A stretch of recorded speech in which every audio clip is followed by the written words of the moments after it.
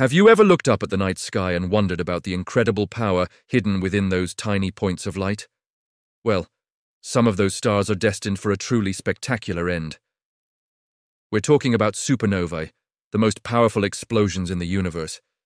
Imagine a star much, much bigger than our Sun. For millions, or even billions of years, it burns brightly, fusing elements in its core. But eventually, it runs out of fuel. When this happens, the star's core collapses under its own immense gravity. This collapse happens in a fraction of a second, creating a shockwave that blasts the star's outer layers into space at incredible speeds.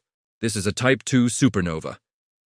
The result is a breathtakingly beautiful and expanding cloud of gas and dust called a supernova remnant, like the famous Crab Nebula. But that's not the only way a star can go supernova. Sometimes you have a pair of stars orbiting each other. One of them is a superdense remnant called a white dwarf.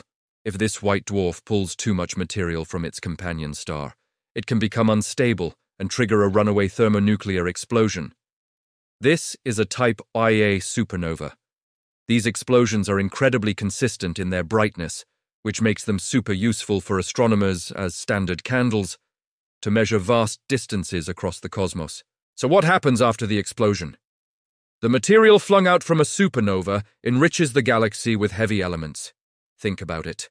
The iron in your blood, the calcium in your bones, the gold in jewelry, all of it was forged in the heart of a star and scattered across space by a supernova.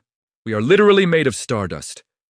These cosmic explosions aren't just an ending, they're a crucial part of the cycle of cosmic life and death, clearing the way for new stars and planets to form.